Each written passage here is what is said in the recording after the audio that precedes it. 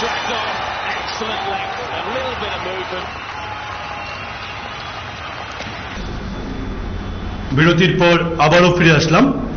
আমরা আপনারা দেখছেন নির্বাচনী বাউন্সার আমাদের এবারকার রাউন্ড ইনসুইং রাউন্ড আমরা আগে বলেছি যে টোটাল এপিসোডটা এপিসোড টক শোটাকে আমরা চারটা এপিসোডে ভাগ করেছি। প্রথমটা গেল গুগলি রাউন্ড দ্বিতীয় ইনসুইং রাউন্ড ইনসুইং রাউন্ডে আমাদের প্যানেলিস্টরা যারা আছেন, তারা কীভাবে ইনসুইং বলকে সামলান ব্যাট করেন, তার বিরুদ্ধে এটা দেখার বিষয়। আমি প্রথমেই বিজেপির নবেন্দু ভট্টাচার্যের কাছে যাচ্ছি। পাঁচ বছর বিজেপি ক্ষমতায়। সিপিএম বিশেষ করে বিরোধী দলনেতা, উনি নির্বাচনী জনসভায় বলেছেন, সুরমা থেকে শুরু করে বিভিন্ন জায়গায় নির্বাচনী জনসভায় বলেছেন, এই পাঁচ বছরে পঁচিশ জন সিপিএম এর নেতা কর্মীকে আপনারা খুন করেছেন মানে আপনার দল প্রশ্রয় দিয়েছে সেই খুনগুলোকে এগুলো তো পুরোপুরিভাবে অসত্য। হ্যাঁ পঁচিশ জনের নাম দিই আঠারো নির্বাচন এমন একটা নির্বাচন। এই প্রথম এ রাজ্যে এমন একটা নির্বাচন হলো, যার পর কোনো রাজনৈতিক সন্ত্রাসী খুনের ঘটনা ঘটেনি। হ্যাঁ নির্বাচনের বইতে পরে কতগুলি নাম দেওয়া হয়েছিল, সেগুলি আপনারা জানেন, সাংবাদিকরা জানেন। পরবর্তী সময় সেগুলি খতিয়ে দেখা হয়েছে, সেগুলি দেখা গেছে। আত্মহত্যা করেছেন ওনাকে হত্যা করা হয়েছে বলে চালিয়ে দেওয়া হয়েছে। এগুলি বলা হয়েছে, কারণ খুনের রাজনীতিটাতে ওরা বিশ্বাসী। সন্ত্রাসের রাজনীতিতে ওরা বিশ্বাসী, শুধু এই রাজ্যে নয়। যেখানে কমিউনিস্ট পার্টি আছে, সেখানেই খুন সন্ত্রাস হবে, এটাই স্বাভাবিক। ত্রিপুরা পশ্চিমবাংলা, কেরালা, এখনও চলছে সেই সমস্ত জায়গায় সন্ত্রাস। তারা খুনের রাজত্বে বিশ্বাসী। তারা এই সন্ত্রাসের রাজত্বে বিশ্বাসী তারা। সন্ত্রাসে বিশ্বাসী। সেটা তাদের মতাদর্শগত অবস্থান। সে কারণে সেগুলি চলবে। আমরা ত্রিপুরা কোনো রাজনৈতিক সন্ত্রাস চাই না। আমরা একাত্ম মানবতাবাদে বিশ্বাসী। আমরা চাই গণতন্ত্রের প্রসার ঘটক। কমিউনিস্ট পার্টির তো তাদের যে সংবিধান আছে সেখানেই উল্লেখ করা আছে। এই দেশে তারা এখন একনায়কতন্ত্র প্রতিষ্ঠা করতে চায়। সেটা তাদের রাজনৈতিক অবস্থান তারা এগুলি চায়, তারা এগুলি করবে। কিন্তু এই সংস্কৃতিটা ধুইমুছে শেষ করে দিতে আরও সময় লাগবে। আমরা আঠারোর যে ভিশন ডকুমেন্ট আছে, সেখানে একটা বিষয় ছিল, সমাজ পরিবর্তনের কথা সমাজ পরিবর্তনের কথা আমরা বলেছি, তার প্রভাব পড়ছে, তার প্রভাব পড়ছে। কিন্তু তাতে আরও সময় লাগবে, আরও কিছুটা সময় লাগবে। এই সংস্কৃতি দূর করতে আরও সময় লাগবে। কিন্তু জারি আছে, এই প্রচেষ্টা জারি আছে। কোন ধরনের রাজনৈতিক সন্ত্রাস হোক এটা আমরা চাই না। কিন্তু আমরা সিপিএম এর প্রচারে সিপিএম এর প্রচারে বারবার এসছে বারবার আসছে এমনকি সংবাদ মাধ্যমেও আসছে বিভিন্ন জায়গায় যে বাইক বাহিনীর কথা।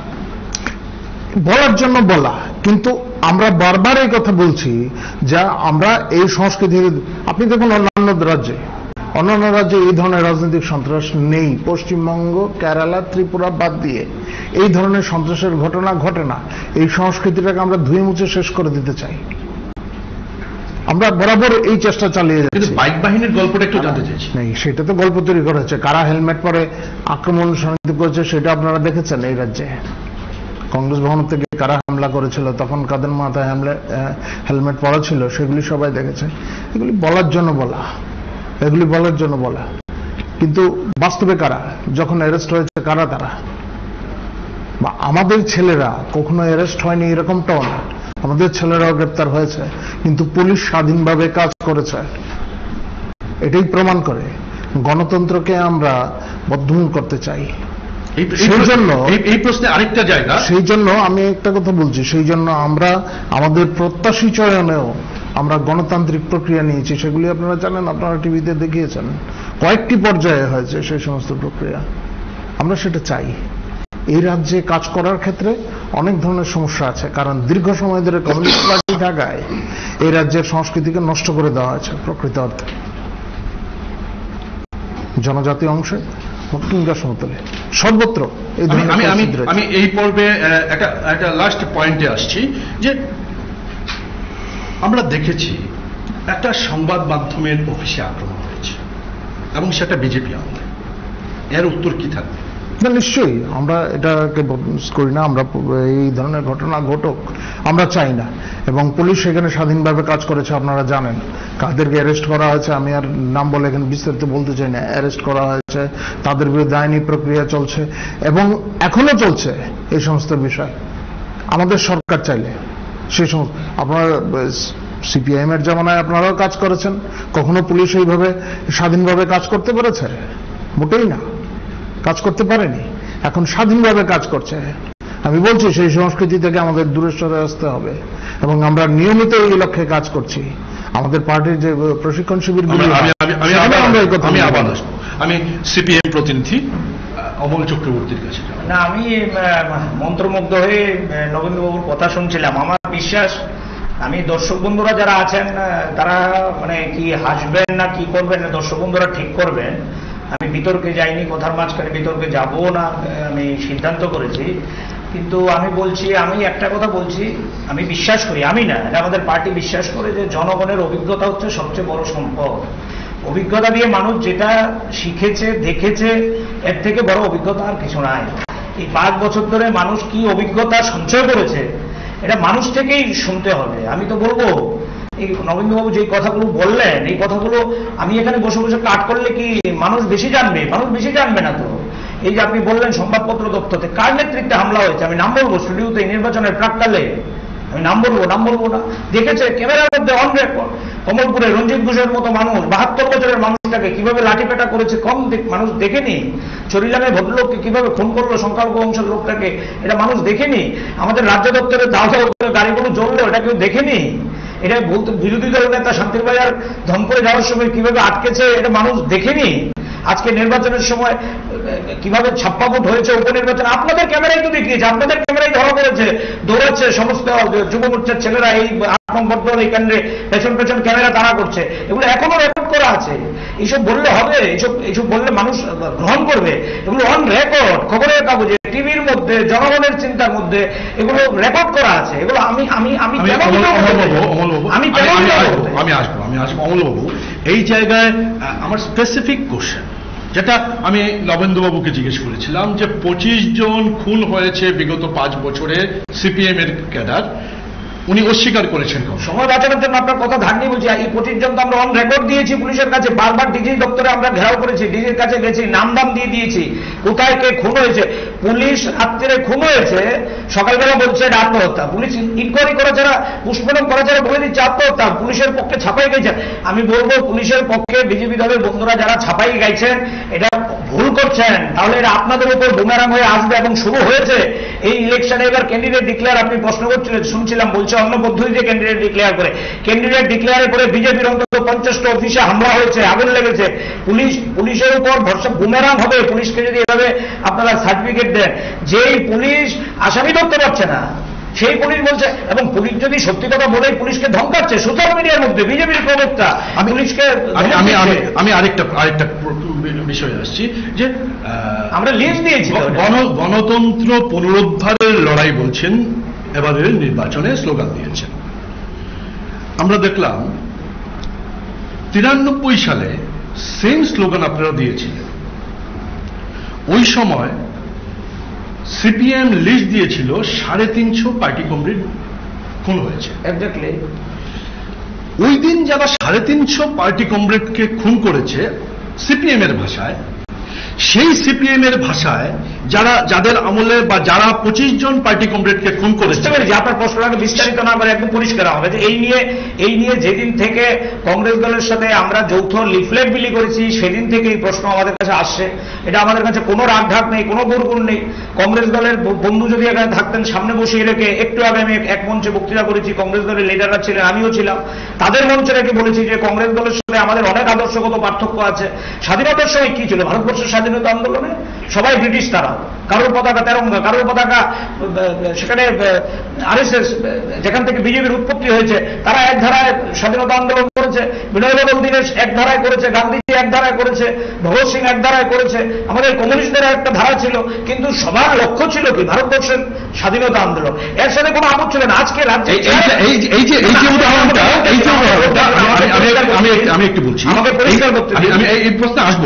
এই যে উদাহরণটা দিলেন ওই সময় দাঁড়িয়ে যারা যারা যদি স্বাধীনতা আন্দোলনের কথাই ধরি ওই সময় দাঁড়িয়ে যারা যারা জাপ সাম্রাজ্যবাদের পাশে গিয়ে দাঁড়িয়েছিল তাদের কিন্তু তু- তু- কুকুর বলেছে। না না এরকম না ব্যাপারটা ব্যাপারটা এরকম না। তখন আমি আপনাকে ওই আন্তর্জাতিক জায়গাটা যাওয়ার আগে আপনাকে পরিষ্কার করি। প্রথম হচ্ছে আমি দ্বিতীয় প্রশ্নে আপনার এই প্রশ্নের উত্তর দেওয়ার আগে যে কথাগুলো বলছিলাম আমাদের এই রাজ্যের চেহারাটা এই রাজ্যের চেহারাটা দেখে শুধু আমরা বলছি আপনারা কেন আমাদেরকে আইসোলেটেড করছেন? আমরা বলছি না, না, আমরা কাউকে না, শেষ করছি করতে আমরা same question আমরা বিজেপিকে জিজ্ঞেস করেছি। কথা বলতে শেষ করতে দিতে হবে। Isolated করতে Isolated বললে তো এরকম বলতে। হবে। CPIM কিন্তু বলছে না রাজ্যে গণতন্ত্র নেই।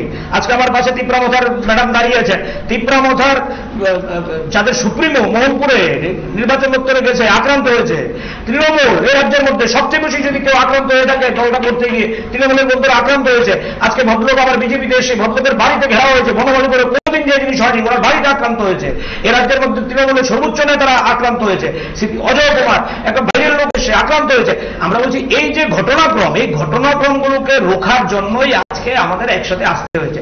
আপনি অষ্টআশি বিরানব্বই সালের যে উদাহরণ দিচ্ছেন এই প্রেক্ষাপট একরকম। আজকের রাজনীতির প্রেক্ষাপটে মানে কোন জায়গাটা আলাদা?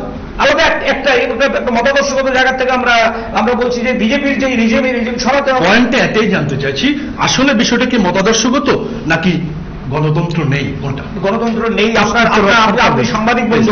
না না আপনি সাংবাদিক বন্ধু আপনি যদি না জানেন গণতন্ত্র নেই আমি উত্তর দিয়ে এটা বোঝাতে পারব আমার- আমার যা- আমার জানার বিষয় না, মানুষকে বলতে আক্রান্ত হয়েছে। আটচল্লিশ একজন সাংবাদিক ব্যক্তিগতভাবে আক্রান্ত হয়েছে। আজকে কেন দিনরাত চ্যানেলটা নেই? আজকে কেন টিভি টোয়েন্টি ফোর চ্যানেলটা নেই? নাম ধরে বলছি আমি। আজকে কেন আকাশ ত্রিপুরা নেই? আজকে কেন দশটা চ্যানেল আগরতলা শহরে টিভিতে মানুষ দেখতে পাচ্ছে না? আজকে কেন খবরের কাগজের নিউজ নিয়ন্ত্রিত হয় সেক্রেটারিয়েট থেকে? খবরের কাগজ সবটা দেখাতে পারে না। সাংবাদিকদের ভয় তাদের দুজনের কাছে যাব। এই পয়েন্টটা বলেছে সংবাদ মাধ্যম আক্রান্ত। এই অনেকগুলো চ্যানেল নেই। এই বিষয় নিয়ে আরে মাত্র পাঁচ বছর আগে কি হয়েছে এই রাজ্যে? কতজন সাংবাদিক আক্রমণে দুজনকে তো হত্যাই করা হয়েছে। আরে। কি বিপদে পড়ে যাবে? বিপদে ফেলুন না দেখি কি বিপদে ফেলতে পারেন এ রাজ্যের মানুষকে বিপদে ফেলেছেন আপনারা। এবার বলছেন মন্ত্রমুগ্ধ হয়ে আমার কথা শুনছিলেন। শুনুন মন্ত্রমুগ্ধ হয়ে শুনুন তাহলে পরিবর্তন হবে আপনারও পরিবর্তন হবে। আপনার মতো অনেক মিথ্যা কথা কেউ মন্ত্রমুগ্ধ হয়ে শুনে না। হ্যাঁ, এই জায়গায় তো ভুল করেন আপনারা। এই জায়গায় ভুল করেন। আসলে কমিউনিস্ট? আমি নরেন্দ্র একটা কথা আমি বলছি। কমিউনিস্ট পার্টি আমি কমিউনিস্ট আদর্শে বিশ্বাসী নই কিন্তু কমিউনিস্ট দর্শন সম্পর্কে একটু পড়াশোনা আছে। আমি বলব তাদের মধ্যে একটা আছে তাদের তাদের এই লেখাতেও আছে লুমফ অ্যান্ড প্রোলেতারিয়েত। এখন তাদের কাছে গেছে ক্ষমতাটা কমিউনিস্ট পার্টির যে ক্ষমতাটা। হ্যাঁ, আপনি একটু আগে যে বিষয়টা বলেছেন যেটা। আমি বলছি একটু আগে আপনি যে বিষয়টা বলেছেন যে বামফ্রন্ট আমলে সাংবাদিকদের উপর আক্রমণ হয়েছে হয়েছে। তাই বলে বিজেপি আমলে অমলবাবু যে বিষয়টা সামনে আনলেন বিজেপি আমলে হবে? কোন সন্ত্রাস কোন হামলা হুজ্জুতি হোক কোথাও সেটা আমরা চাই না। বারবার কথাটা বলছি ত্রিপুরা পশ্চিমবঙ্গ কেরালা বাদ দিয়ে কোথাও এই ধরনের ঘটনা খুব একটা ঘটনা ঘটে মানে- মানে ঘটে। যেখানে যেখানে কমিউনিস্ট পার্টির কাজ আছে। কোস্টাল এরিয়াগুলিতে যেখানে কাজ আছে। সেখানেই তারা এই ধরনের কাজ করে। তারা চায় সন্ত্রাস সৃষ্টি করতে। সন্ত্রাসটাই তাদের মূল মন্ত্র। সন্ত্রাসটাই তাদের- তাদের মতাদর্শগত অবস্থান। ফলে সেগুলি তারা চাইবে। এই পঁচিশ বছরের কথা মানুষ কি ভুলে গেছে নাকি? এখানে কি আছে এর আছে। প্রত্যেকটা নির্বাচনের বুঝতে চাইছি, শুধু সাংবাদিকরা না। শুধু সাংবাদিকরা না সাংবাদিক অবশ্যই। আপনিও সাংবাদিক। যখন সেক্রেটারিটা হোক বা পার্টি অফিসে হোক সাংবাদিকরা প্রশ্ন করতে পারতেন ভয়ে থাকতেন। প্রশ্ন করলে বক্র দৃষ্টিতে দেখতেন শ্রেণি শত্রু হ্যাঁ, তাদের শ্রেণি শত্রু হিসেবে চিহ্নিত করতেন। সাংবাদিকদের কথা বলবেন না সাংবাদিকতা আমিও ছিলাম এতটা আমি জানি কি হতো তখন। আমার আমার পয়েন্টটা অন্য জায়গায়। বিষয় হচ্ছে বামফ্রন্ট আমলে এই বিষয়গুলো হয়েছে বলেই তো বামফ্রন্টকে চেঞ্জ করেছে রাজ্যের মানুষ। নিশ্চয়ই আমরাও পরিবর্তন চাইছি। বিজেপি আমলে যেই অভিযোগগুলো আসছে এই অভিযোগগুলো গভর্নমেন্ট তো বিজেপি কেন হবে? না আমরা চাইছি দেখুন সমান্তরে এই বিষয়গুলি কমছে হ্রাস পাচ্ছে এই ধরনের ঘটনা। আমরা এই সংস্কৃতির পরিবর্তন করতে চাই বারবার আমরা কথা বলছি। ভীষণ ডকুমেন্টেও এই কথাটা ছিল সমাজ পরিবর্তনের কথা। সমাজ পরিবর্তনটা কি সেই ব্যাখ্যাটা আমরা দিয়েছি। আমরা আমরা আমরা এই যাকে জায়গায় ছাপ্পান্নটা বুথে পুনর্নির্বাচন কেন করতে হলো লোকসভা নির্বাচনে আমরা- আমরা আসব। শাহকে কেন ছাপ্পান্নটা জিততে হলো আমি আমি আরে প্রেম, আমি উনি তৃণমূল যিনি এডিসিতে আমি আমি সঞ্চালককেই বলছি একটু একটু বলতে দিন ছিল বলতে দিন কংগ্রেস গণতন্ত্র পুনরুদ্ধারের সংগ্রাম সম্পর্কে এটা সম্পর্কে কি নজরে দেখছে দুই হাজার আঠারো নির্বাচনে বিজেপির মাসিভ ভিক্টরির পর আজকে দুই হাজার তেইশে নির্বাচনের সামনে নির্বাচন। এই পাঁচ বছরের মধ্যে কেন একটি শাসক দলকে এত কষ্টের সম্মুখীন কিংবা এত লড়াইয়ের সম্মুখীন হতে হলো? তার প্রধান কারণ মানুষের মাঝে এই যে আক্রমণ, আক্রমণে যেটা একটা বাইক বাহিনীর নাম দিয়ে যে যে আক্রমণটা, সেটা সত্য, মিথ্যা। আমরা যদি অভিযোগ করি, বিরোধীরা অভিযোগ করলে শাসন দল বলবে এটা মিথ্যা। কিন্তু মানুষের অভিজ্ঞতা দিয়ে এটা প্রমাণ, প্রমাণিত হয়েছে যে এই আক্রমণগুলি সংগঠিত হয়েছে। মানুষের মনের ভিতরে ভিতরে যে এই আক্রোশটা জমেছে। তাতেই, তার কারণেই আজকে দুই হাজার তেইশে বিজেপিকে অনেক পরিশ্রম করতে হচ্ছে। নাইলে পাঁচ বছরের মধ্যে একটি এই, আপনার আপনার এই বক্তব্যের কি বলতে চেয়েছেন সেটা আমরা বুঝতে পেরেছি। এবার একটা জায়গা কাইন্ডলি আপনি বলুন, যে আপনি এ রাজ্যের মানুষ, বামফ্রন্ট সরকারের সময়টা দেখেছেন। এর আগে জোট সরকারের সময়টা দেখেছেন। এই পাঁচ বছর বিজেপি জোট সরকারের সময়টা দেখলেন। এই তিনটা রিজিউমে গণতন্ত্র অর্থে আমরা যাকে বুঝি, সেই গণতন্ত্র, এটাকে গণতন্ত্র বলতে পারেন বা তথাকথিত গণতন্ত্র বলতে পারেন, কতখানি রক্ষিত হয়েছে, কার আমলে বেটার কি মনে হয়? না, বাম আমলে গণতন্ত্র, তারা যেটা করত হ্যাঁ যেভাবে গণতন্ত্রটা করতে হতো মানুষের চোখে হতো সেটা অনেকটা মানে একটা লিমিটেশন রেখে রাখতো বা এটা কোনো কিছু মানে সেইভাবে এটা ম্যানেজ ম্যানেজিং ইয়েটা করতো। কিন্তু বিজেপি আমলে এটা একটু মানে একদম ম্যাক্সিমাম আনলিমিটেড হয়ে যাওয়ার কারণে গণতন্ত্র বিজেপির সমাধান বিজেপির ইয়েটা হয়ে যাবে কারণ বাম আমলের যে তাদের যে ইয়েটা লিমিটেশনটা একটা, তাদের আমলে যে কোনো অত্যাচার হয়নি বা কোনো কিছু হয়নি, তা কিন্তু না। সে আমলও হয়েছে। জুট আমলের কথা অনেকে বলে। হ্যাঁ কিছুই হয়নি যদি আমি বলি, এটাকে সত্যের সত্যের অবলাভ করা হবে। কিন্তু বিজেপি এই লাস্ট এই ফাইভ ইয়ার্সে বিজেপির আমলে যেই আক্রমণের সম্মুখীন হতে হয়েছে, এই এই আক্রমণটা শহরে গ্রামের দিকে আমরা শুনতাম এইরকম গ্রামের গ্রামের দিকে হতো বা ভিতরের দিকে কিছু কিছু ঘটনা ঘটতো। কিন্তু শহরের বুকে এরকম ধরনের ঘটনা আমার অন্তত আমি এই বয়সে আমি কোনোদিন দেখিনি। আমি দেখিনি যে একটা থানার ভিতরে পশ্চিমবঙ্গের আমাদের যুবনেত্রী সায়নী ঘোষকে যখন পুলিশ মানে গ্রেপ্তার, একরকম গ্রেপ্তারি করে নিয়ে গেল। নিয়ে যাওয়ার পরে থানার ভিতরে গিয়ে, থানার ভিতরে আক্রমণ করল এবং সন্ধ্যার পরে থানার মানে থানার অফিসাররা বোঝা গেছে আপনার হ্যাঁ, পয়েন্টটা বোঝা গেছে। হ্যাঁ। আমি দিদির কাছে আসব সেম কোশ্চেনটা আপনার কাছ থেকে শুরু করি। যে আপনারাও তো বিজেপির পাঁচ বছর দেখেছেন বামফ্রন্টের পঁচিশ বছর দেখেছেন এর আগে এর আগে পাঁচ বছর দেখেছেন কংগ্রেস টিউজেস জোট। এর আগেও ছিল। আমি যদি এই তিনটা রিজিয়ন তার তুলনা করি গণতন্ত্রের হিসাবে কোন সময়টাতে গণতন্ত্র বেশি সুরক্ষিত ছিল দেখুন, ওই জায়গাতে আমার একটাই উত্তর, ত্রিপুরা রাজ্যে, ত্রিপুরা ছাড়া সবসময় যেদিন থেকে ত্রিপুরা রাজ্য ভারতের সঙ্গে যোগদান করেছিল সে উনিশশো উনপঞ্চাশ পনেরোই অক্টোবর, ওই দিন থেকে আজ পর্যন্ত ত্রিপুরা ছাড়া জন্য কোনো সরকারটাই মোটেই ভালো। যার দরুন আজকের ডেটে ত্রিপুরামথা নামে একটা আঞ্চলিক পার্টি আঞ্চলিক পার্টি মহারাজার নেতৃত্বে গড়ে ওঠার একটা মেইন কারণ ওই জায়গাতে। আমরা যে কোনো সরকার হোক সে আগের কংগ্রেস সরকার ত্রিশ বছর পঁচিশ বছর বাম সরকার জোট সরকার আছে এটার মধ্যে পাঁচ বছর এবং বিগত পাঁচ বছর বিজেপি সরকার কোনো সরকারটাই আমাদের জন্য সেরকম ভাবে কাজ করেন আপনি যদি in terms আপনি- of economy or in terms of democracy? সব সব ক্ষেত্রে। আপনি বলেন যদি অর্থনৈতিক তার মধ্যে বেটার কোনটা? তার মধ্যেও বেটার কোনটা? তার মধ্যে বেটার করতে আমি কিছু দেখিনি। আপনি যদি যান আমার কথা যদি বিশ্বাস না করেন আপনি যদি একটু যদি কষ্ট করে সময়টা নষ্ট করে যদি আপনি ভিতরে ঢুকেন আমি জাস্ট গতকালকেও একবার একটা আত্রমোড়ের একটা ইয়েতে দেখেছি। সেই কত বছর প্রায় পঁচাত্তর বছর কাছাকাছি আমাদের যে স্বাধীন হলো যে আমাদের ভারতবর্ষ। এই স্বাধীনতার পঁচাত্তর বছর পরেও এখনও তাদের জীবনযাত্রার মান মধ্যযুগ, মধ্যযুগের থেকে আরও নিচে। ওই জায়গাতে আপনি আপনি যদি যান, আপনি চোখের জল পড়বেন হয়তো বা পানীয় জলের কোনো ব্যবস্থা নাই, স্কুলের কোনো ব্যবস্থা নাই, রাস্তাঘাট নাই। এক একজন যদি ওনার দৈনন্দিন খাওয়ার জন্য যে মার্কেটে যেতে হয়, অনেক দূর হেঁটে যেতে হয়। কি অবস্থা? শুধু এটা না তো, আপনারা সবাই দেখেছেন মিডিয়াতে এটা সব প্রকাশিত হয়েছিল।